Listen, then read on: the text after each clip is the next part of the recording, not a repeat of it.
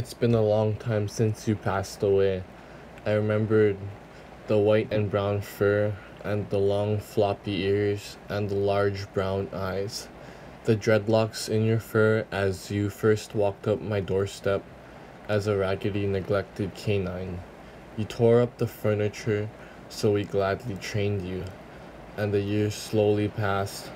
Every night we ate with you, every morning we played with you, every year we celebrated with you.